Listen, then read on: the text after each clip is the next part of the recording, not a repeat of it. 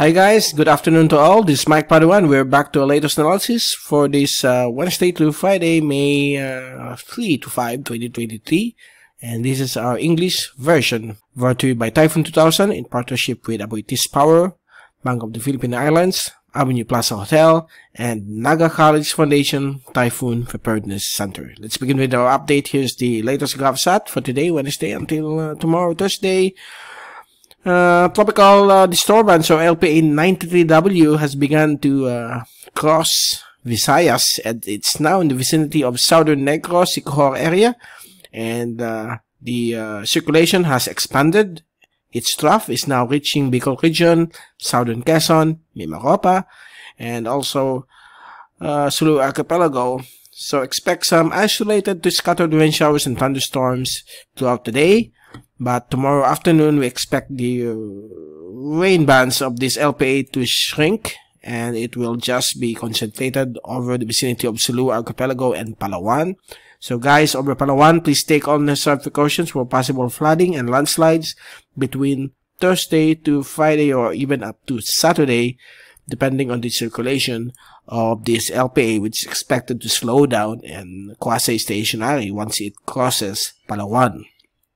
And uh, rain bands over the Bicol region and eastern Vis Visayas will uh, start to uh, dissipate and good weather will be expected tomorrow.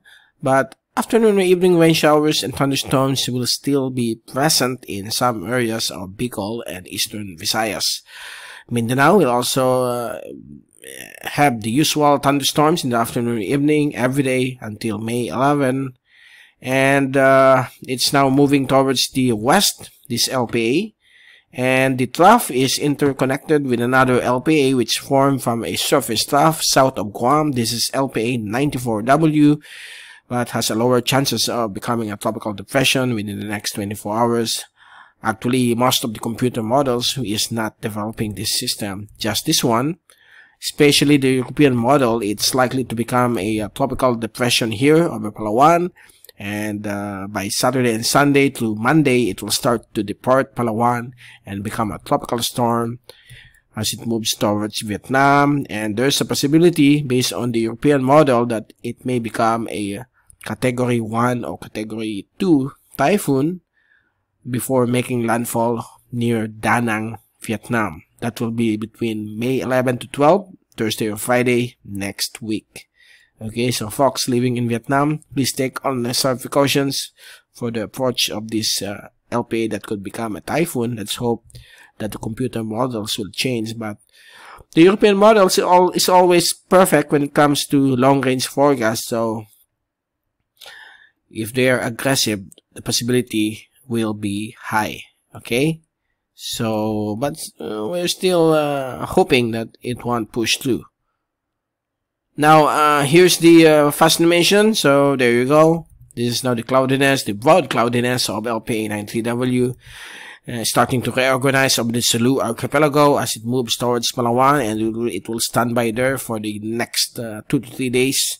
And LPA94W stationary south of Guam, not expected to develop and here's the zoom in southern animation so southern and central philippines is bombarded with lots of isolated thunderstorms from bicol southern quezon mimaropa visayas mindanao but the bulk of the rainfall will be uh, shifting towards Palawan within the next two days, so take all necessary precautions for possible flooding there, especially this Friday.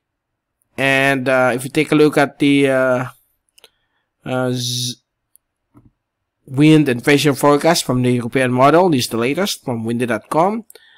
By tomorrow afternoon, we have now the uh, LPA 93W reorganizing over Sulu Archipelago as it moves towards northern Palawan.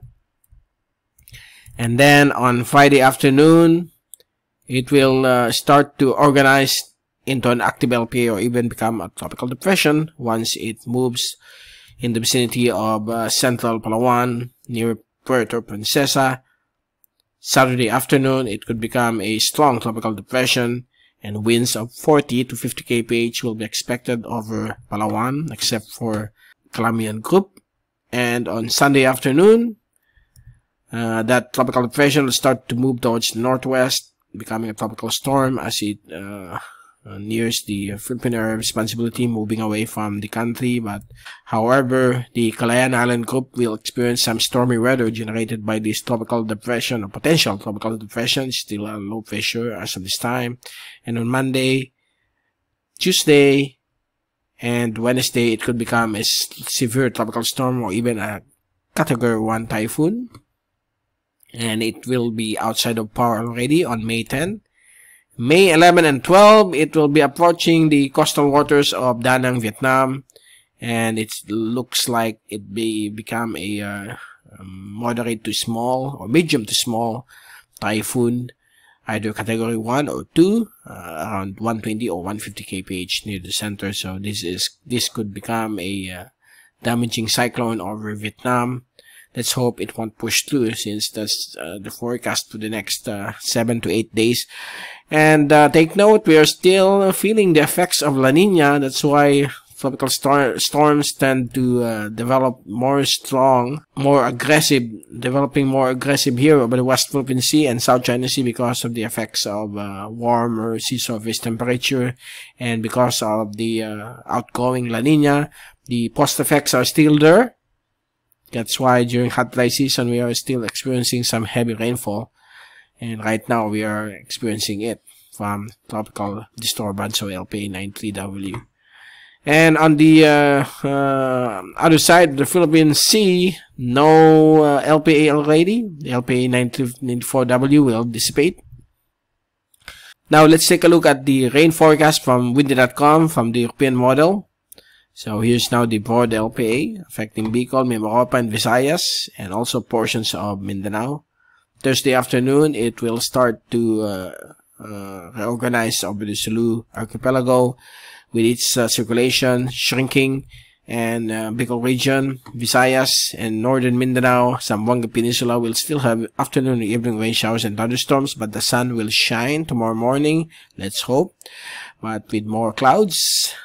Friday afternoon, now the area of central Palawan and southern Palawan will have some intense rainfall ranging from 50 up to 200 millimeters. So take all necessary precautions there for possible flooding and landslides because of the LPA 93W that could stand by there for the next two days until Saturday and it could become a tropical depression. And uh, thunderstorm activity will still prevail in the afternoon or evening across Visayas and Mindanao for Bicol it will be dry. Okay, but uh, isolated thunderstorms are still possible in some areas, but with lower chances.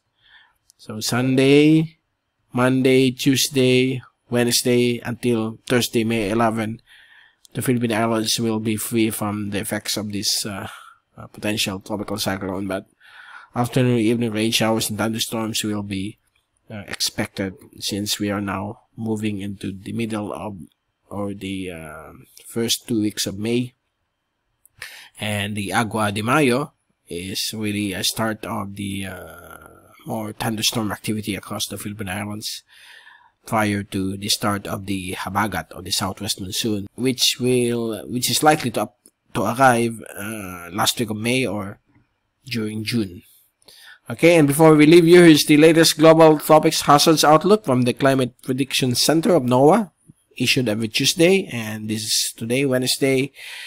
We have a latest one, week 2 to week 3. For week 2, valid May 10 to May 16, the Philippine Islands is under more than 50 or 25% of tropical cyclone formation, but it's now up to 50% because of the development or developing LPA93W. Week 3 valid May 17 to May 23. The Philippine Islands will have more than 65% uh, of above average rainfall, particularly over Bicol and Visayas, more than 50% uh, across the rest of the Philippine Islands because of a possible frontal system developing and the shear line will bring some thunderstorms here. So, uh, and also it's already Agua de Mayo and we expect this uh, rainfall to be every afternoon. Okay. So there you go. That's the latest for this Wednesday to Friday. And we will return this uh, Friday or weekend to give you more updates on LPA93W. And uh, from Typhoon 2000, this is Mike Padua saying uh, good day to all. Stay safe always. Be hashtag weatherwiser. And uh, thank you so much for watching our channel.